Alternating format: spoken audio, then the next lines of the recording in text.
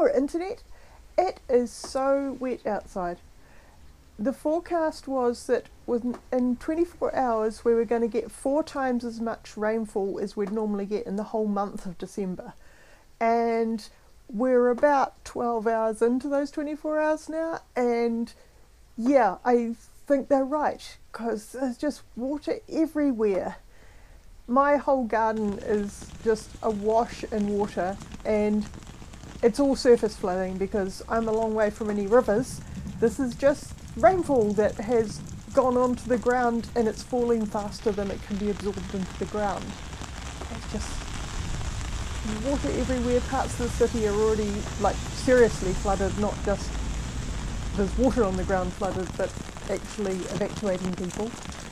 It's yeah, it's wet. so much for summer. Despite the rain, I have had a nice day. Um, the rain didn't get like it started this morning. Well, started last night actually. It was raining late last night, but not very heavily, just sort of normal rainfall. And it wasn't till this afternoon that it got seriously, seriously heavy. And I did think about working from home today because they were sort of saying, you know, stay off the streets if you can, because they knew there was the potential for flooding.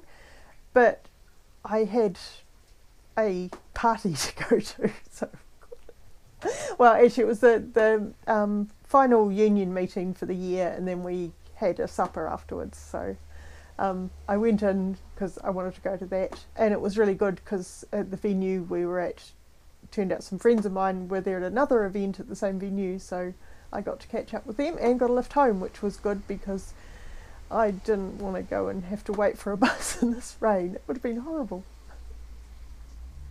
Anyway, I'm home now. I'm dry. Parsnips is not happy. She seems to think that the weather is something that I can control, so she keeps looking out the window and then meowing at me very loudly to tell me to turn the rain off. She'll get over it. I hope you're having a nice day. I hope the weather is a lot better wherever you are, even if you're in the depths of winter somewhere in the Northern Hemisphere. Don't forget to do all those nice internety things like liking and subscribing. And I will see you tomorrow, and hopefully the rain will stop. Merry Kirihimete, Internet.